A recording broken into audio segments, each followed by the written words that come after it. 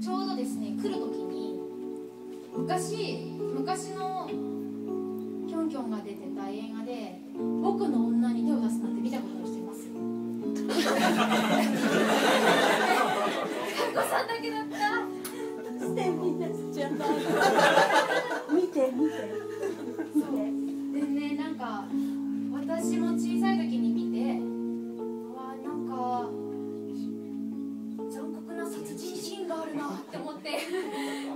けどそのキョンキョンの最後のエンディングの曲がすごく好きであので今その DVD を見てきたんですよ。車の中で。めっちゃ途中なんですけどあの久しぶりにねなんか言いたいあじゃあちょっとヒデさんにインタビューしようあどうもどうも。あこんにちは違う。今日はご気分いかがですか？とても良好です。あ本当ですか？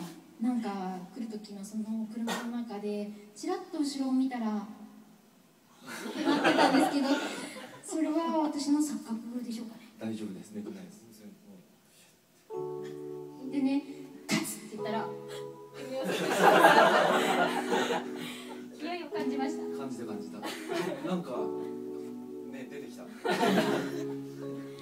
結構あのリーダーの車で来たんですけど大きい車なんで後ろの座席と前の座席私前に乗ってて結構距離あるんですけどちっちゃい声で「カツ!」って言ったんですねそう何かを感じたとか言って 起きてくれたんですけど、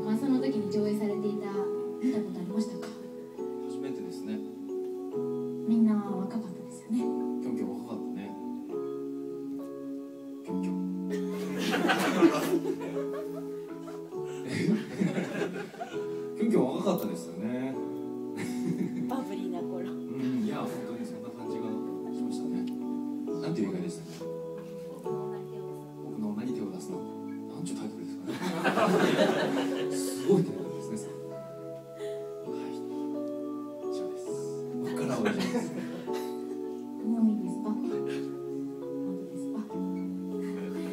ンキョンといえばですね何年か前にまたシアターじゃないんですけど東京の方になんか CD の録音にですねレコーディングに行ったことがあってその時2つスタジオがあるところを借りてですねもう片方がキョンキョンだったんですよ。であの休憩フロアみたいなところに行ったらキョンキョンがいたんですけど見ちゃダメだと思って ガン見できなかったんですよ。全然見れなくてどうしようこれ見てもいいのかな。でも後ろ振り返らなきゃ見れないしなと思って。声だけ聞いてたんですけどあのままのなんか色っぽいセクシーな音でしたね。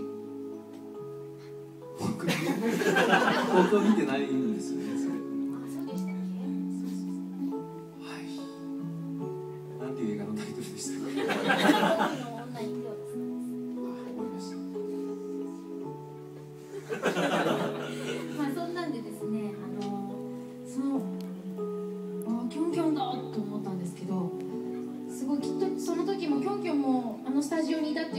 CD かなんかのレコーデ